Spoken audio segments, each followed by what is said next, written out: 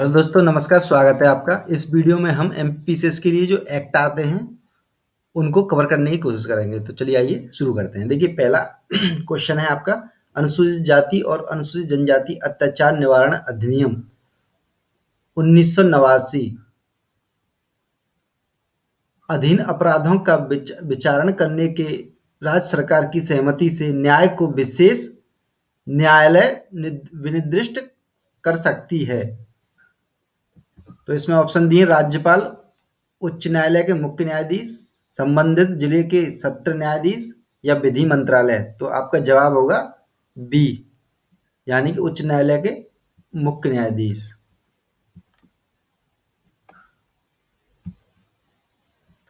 देखिए, दूसरा क्वेश्चन है इसमें।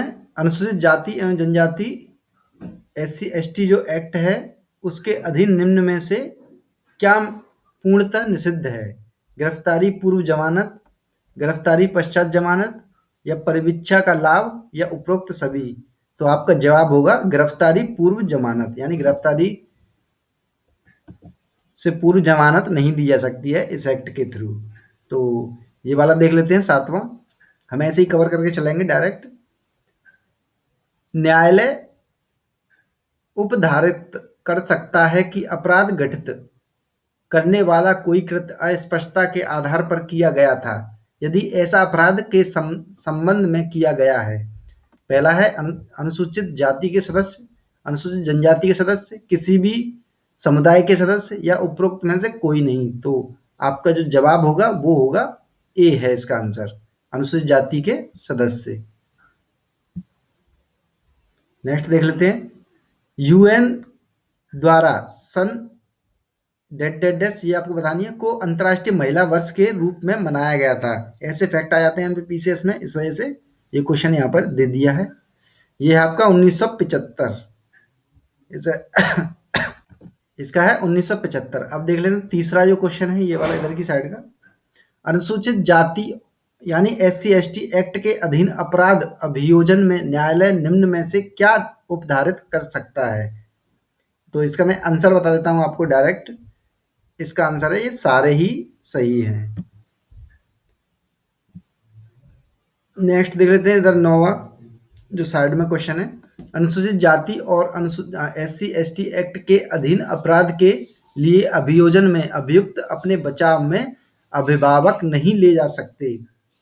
कि ये आपको बताना है, इन ऑप्शनों को आप पढ़ लेना, मैं आपको डायरेक्टली आंसर बता देता हूँ। इसका आंसर है, कार्य से इतनी थोड़ी अपहानि हुई है जो शिकायत का विषय नहीं हो सकती। तो ये इसका आंसर है। देखिए, ये इंपॉर्टेंट क्वेश्चन है दसवां। मानवाधिकार दिवस कब मनाया जाता है? आपको पता होना चाहिए, क्योंकि एम से क्वेश्चन हमेशा आ जाते हैं एक तरह से। तो इसका आंसर है दस दिसंबर को। ये साइड में चौथा क्वेश्चन देख लेते हैं।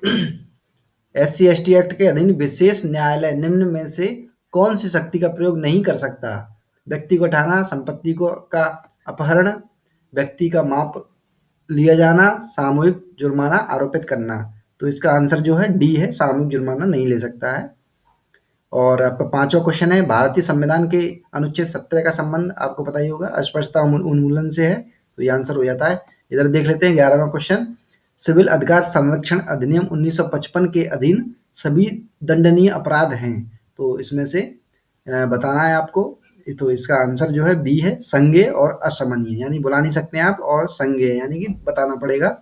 तो ये है इसका आंसर। इन्हें आप अच्छे से देख लें क्योंकि क्वेश्चन यहीं से बनते हैं।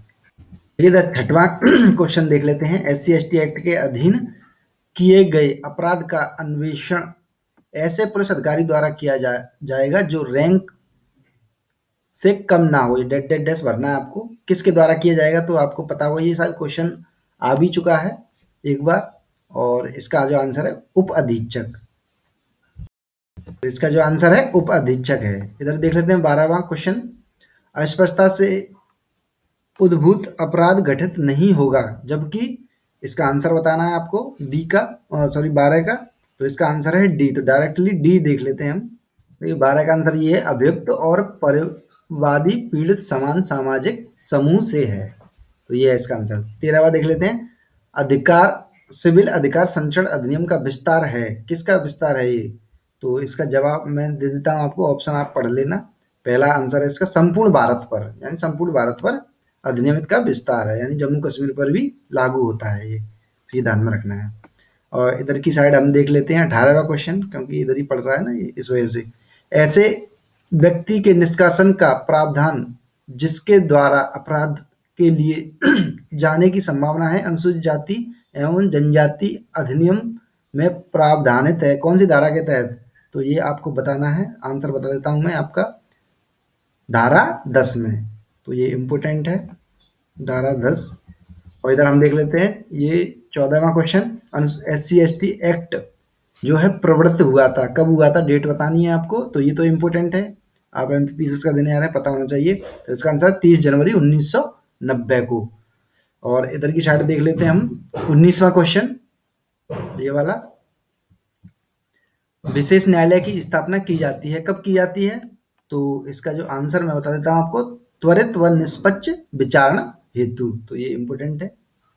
अगर हम पंद्रहवा क्वेश्चन देख लेते हैं। एस सी जो एक्ट है, वह अनुसूचित जाति, अनुसूचित जनजाति की उन्नति के लिए एक प्रावधान है, जो निम्न में से किस एक सिद्धांत पर आधारित है?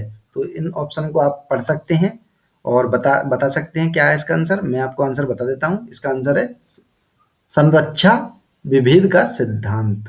तो ये आपको ध्यान में रखना है। और इधर की साइड बीसवा क्वेश्चन देख लेते हैं। धारा चौदह, अनुसूचित जाति, जनजाति जाति, जनजाति, अत्याचार निवारण अधिनियम के अनुसार राज्य सरकार उच्च न्यायालय के न्यायाधीश से परामर्श कर। एक सेशन न्यायालय को विशेष न्यायालय के रूप में निर्दिष्ट करेगी। तो ऑप्शन आपके सामने है, आप पढ़ सकते हैं। इसका आंसर मैं आपको बता देता हूँ। इसका आंसर है आपका प्रत्येक ज़िले के लिए। तो ये आपको ध्यान में रखना है। और इधर नीचे इससे देख लेते हैं, इक्कीसवा क्वेश्चन, राज्य सरकार विशेष लोक अभियोजन अधिकारी की नियुक्ति कर सकेगी। ऑप्शन आपके सामने है, पढ़ सकते हैं। और मैं आपको जो है आंसर बता देता हूँ। प्रत्येक विशेष न्यायालय के लिए। तो ये इंपॉर्टेंट है, ध्यान में रखें इसे। इधर सोलहवा क्वेश्चन देख लेते हैं हम। निम्न शक्तियों में कौन सी एक एस सी एस टी अत्याचार निवारण अधिनियम के अधीन विनिर्दिष्ट विशेष न्यायालय को नहीं दी गई है? तो ये ऑप्शन आप पढ़ लें अच्छे से पॉज करके, और मैं आपको इसका आंसर बता देता हूँ।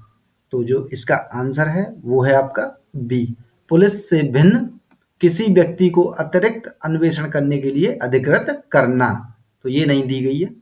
और आपका इधर की साइड देख लेते हैं हम बाईसवा क्वेश्चन सीआरपीएफ की धारा 438 एससी एवं एसटी अधिनियम के उल्लंघन के आरोपी पर धारा। धारा जो है और, और ये आप पढ़ सकते हैं यहाँ पर मैं आपको आंसर बता देता हूँ। आंसर इसका लागू नहीं होगा यानी लागू नहीं होगा ये एस सी पर। सीआरपीएफ की धारा ये और ये। और नेक्स्ट देख लेते हैं तेईसवा, अनुसूचित जाति एवं जनजाति अधिनियम के संबंध में नियम बनाने की शक्ति है। किसे है नियम बनाने की शक्ति एस सी, एस टी अधिनियम के संबंध में। तो इसका आंसर जो है, वो हो जाएगा केंद्र सरकार को है केवल और ये राज्य सरकार को नहीं है। इधर नीचे हम सत्रहवा क्वेश्चन पढ़ लेते हैं। अनुसूचित जाति एवं जनजाति यानी एस सी, एस टी अधिनियम के अधीन अपराधों का विचारण विचारण करने के सेशन न्यायालय, देखिए यहाँ पर, देखिए यहाँ सेशन न्यायालय के विशेष न्यायालय के रूप में विनिर्दिष्ट करने का प्रयोजन है। तो ऑप्शन है आपका, ये पढ़ लीजिएगा यहाँ पर ऑप्शन और मैं आपको जो है आंसर बता देता हूँ। आंसर है इसका, उपयुक्त में से सभी, शीघ्र विचारण, संबद्ध विचारण, ये चार, तीनों ही आंसर है इसके। चौबीसवा क्वेश्चन देख लेते हैं। अधिनियम के अधीन बनाया गया कोई भी नियम बनाने के पश्चात डेट के समझ रखा जाता है। किसके समझ रखा जाता है?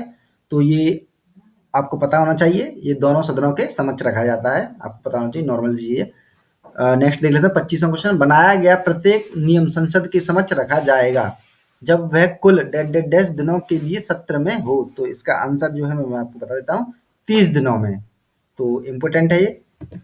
तो दोस्तों, हम एक वीडियो में पच्चीस क्वेश्चन करने की कोशिश करेंगे बाकी बचे हुए दूसरे वीडियो में आएँगे। और जिन्होंने अब तक सब्सक्राइब नहीं किया, जो एम का एग्ज़ाम दे रहे हैं, उनके लिए मैं विशेष सामग्री एक तरह से लाता रहूँगा अब, जब तक आपका एग्ज़ाम नहीं होगा फरवरी तक तो जिन्होंने अब तक सब्सक्राइब नहीं किया सब्सक्राइब कर लें। और पुराने वीडियो देख सकते हैं आप आई का दे रहे हो तो उसके लिए टेस्ट सीरीज़ भी विजन आई की मैंने डाल रखी है वीडियो बना के तो उन्हें देख सकते हैं। और लाइक करें शेयर करें, जिससे ज़्यादा से ज़्यादा लोगों तक ये पहुँच सके।